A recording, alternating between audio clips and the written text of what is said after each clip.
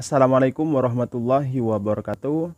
Om Swastiastu, Shalom dan salam sejahtera bagi sahabat-sahabat, teman-teman di mana pun berada. Selamat malam. Salam satu hobi buat sahabat kicau mania di mana pun berada. Kali ini saya mau mereview sangkar puter pelung dan teman-teman juga silahkan komen ya di bawah video ini. Kira-kira yang pas sangkar yang mana kira-kira untuk burung putar pelung. Ini untuk putar pelungku sekarang ditaruh di sangkar yang segi empat sepertinya teman-teman. Karena saya lebih suka sangkar yang besar dan juga ini ya besar-besar seperti ini ya ukurannya besar dan bambunya juga besar.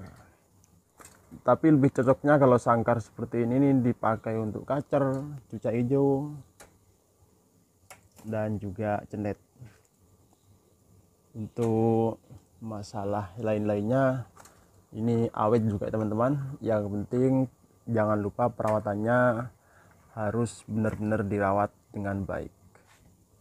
Oke langsung ke ini teman-teman Terus sangkar model seperti ini yang bulat ini biasanya memang umum ya, lumrah dipakai untuk putar pelung, kadang juga dipakai untuk perkutut. Kalau seperti ini memang kelihatan lebih bagus ya, karena memang pada umumnya putar pelung itu memakai sangkar seperti ini. Ya kelebihannya sih itu dari segi bagusnya dan untuk kelemahannya sangkar seperti ini cara merawat itu teman-teman cara membuang untuk membuang kotorannya ini agak susah ya di bawah seperti ini ya teman-teman. Ini untuk membuang kotorannya agak lumayan susah. Ini.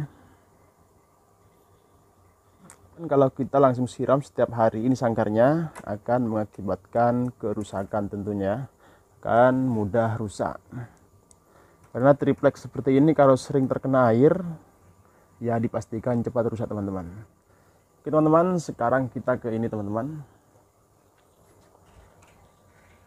Kalau ini racaknya besi dan di bawah ini pakai karet ya sangkar ini kalau menurut saya sih multifungsi. Kalau teman-teman ingin pakai untuk putar pelung juga boleh. Sangkar seperti ini lumrahnya itu dipakai untuk tempat lobet.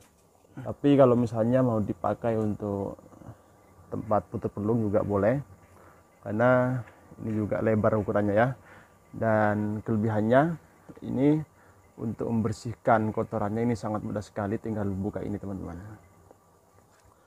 Oke teman-teman kalau bagi kalian semua kira-kira lebih enak yang mana ini ya